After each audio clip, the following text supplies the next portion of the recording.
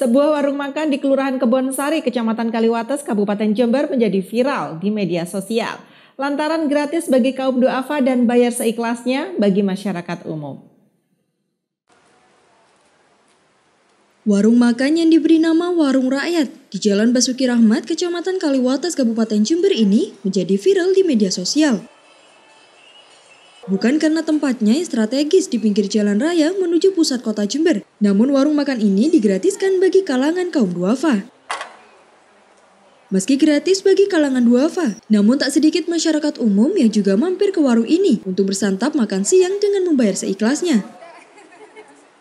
Setiap harinya warung rakyat yang dibuka pada pukul 11 siang hingga 3 sore ini selalu ramai didatangi warga berpenghasilan rendah seperti penarik becak dan pedagang.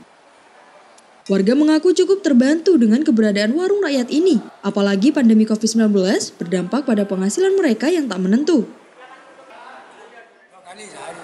Dua kali sehari. Kadang-kadang satu kali. Hmm, gitu. Kalau malam gratis ini. Mulai makan gratis ya. Kalau ya, mangkal di mana, Pak?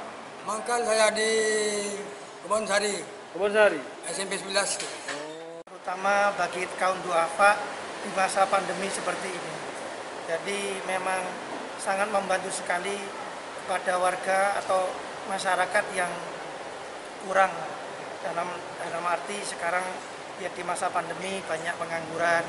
Jadi kiranya warung ini sudah berjalan kurang lebih dua bulan, dua bulan lebih dan sangat membantu sekali.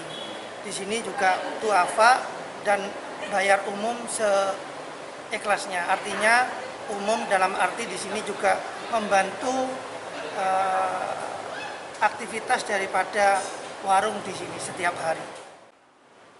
Keberadaan warung rakyat gratis bagi kaum duafa dan bayar seikhlasnya bagi masyarakat umum ini tidak lain untuk sarana berbagi dalam membantu masyarakat kurang mampu di tengah kesulitan ekonomi dampak dari pandemi COVID-19. Dapat masukan dari teman-teman itu uh, dapat info juga ternyata yang banyak datang ke warung itu ya tukang beca uh, tukang beca terus uh, pedagang-pedagang gerobak itu yang yang belum tentu tiap harinya mereka itu dapat pelanggan dapat nafkah barangnya laku atau tukang becak dapat penumpang.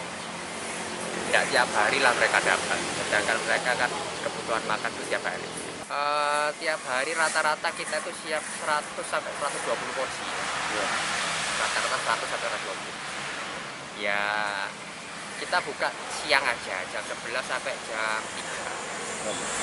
Uh, biasanya habis itu malah kadang kurang, malah kadang kurang ya.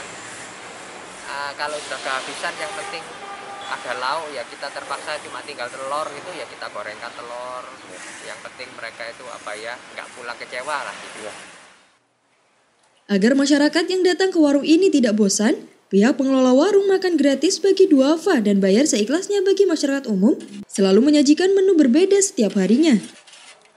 Dari Kaluwatas, tim liputan mengabarkan untuk KCTV.